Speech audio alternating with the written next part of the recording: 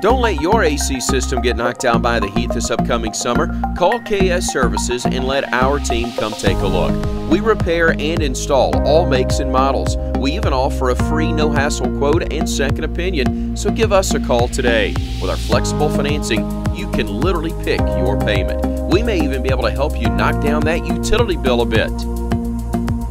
KS Heating and Air, the team ensuring your comfort.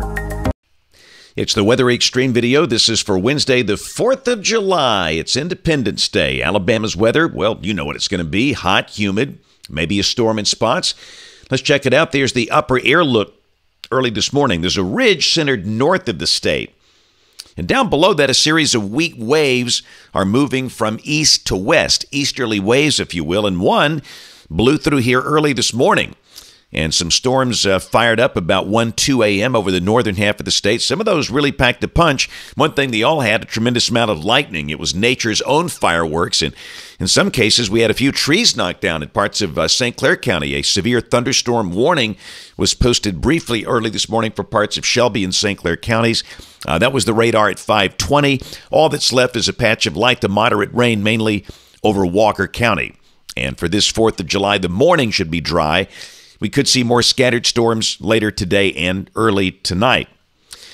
That's the uh, watch warning map. The areas in orange, those are heat advisories. That's where the heat index will likely approach 105.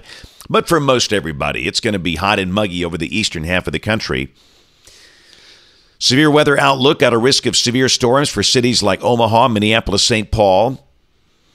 Down here, we're just in the green. That means scattered storms, but organized severe weather not expected.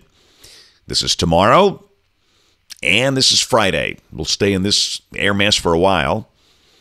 Check weather in the tropics. Uh, got a couple little features highlighted by NHC. One is in the deep tropics, and there's no way that develops because of dry air and cool water. The uh, little disturbance south of Bermuda maybe will try and get its act together. Hurricane Center with a 50% chance of that developing in five days. If anything forms out there by chance, that will be recurving out to sea. It's no threat to the United States. So, model fans, let's take a look. This is the GFS, the 06Z run, valid today at 1 o'clock, and you can see a 597 heat bubble north of here. Uh, for uh, places like Detroit, New York City, Boston, Washington, Baltimore, still very hot today, very humid. We're on the southern flank of that. And again, uh, for today, we'll see sun this morning and a few pop up storms this afternoon or tonight. It's not going to rain everywhere. Chance of any one spot getting wet, I'd say about one in four.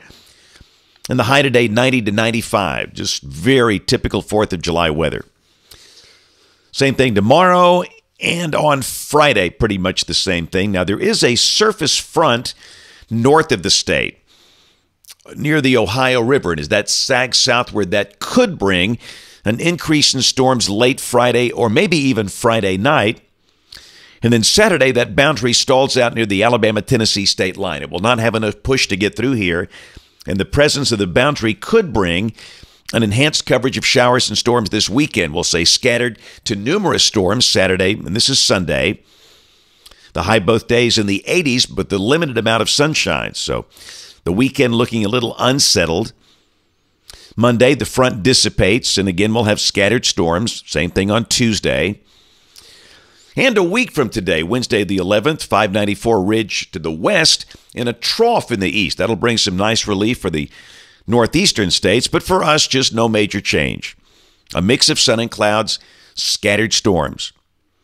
We'll go out uh, 10 days. This is Friday, the 13th of July. Again, a 594 heat ridge off to the west, and the weather here probably not that much different. Sun, scattered storms. Check the numbers coming off the GFS ensemble. You can see for the weekend, highs dropping back in the 80s. Otherwise, Highs mostly low to mid 90s and lows mostly in the low 70s. Sure looks like July. That's it for the Weather Xtreme video today. We'll have notes in the blog.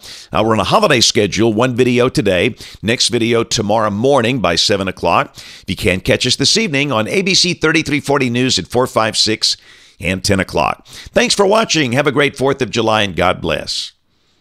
Summer's just around the corner, and KS Services wants to be the team ensuring your comfort. We repair and install all makes and models, so give us a call today to get a free, no hassle second opinion. KS Heating and Air, the team ensuring your comfort.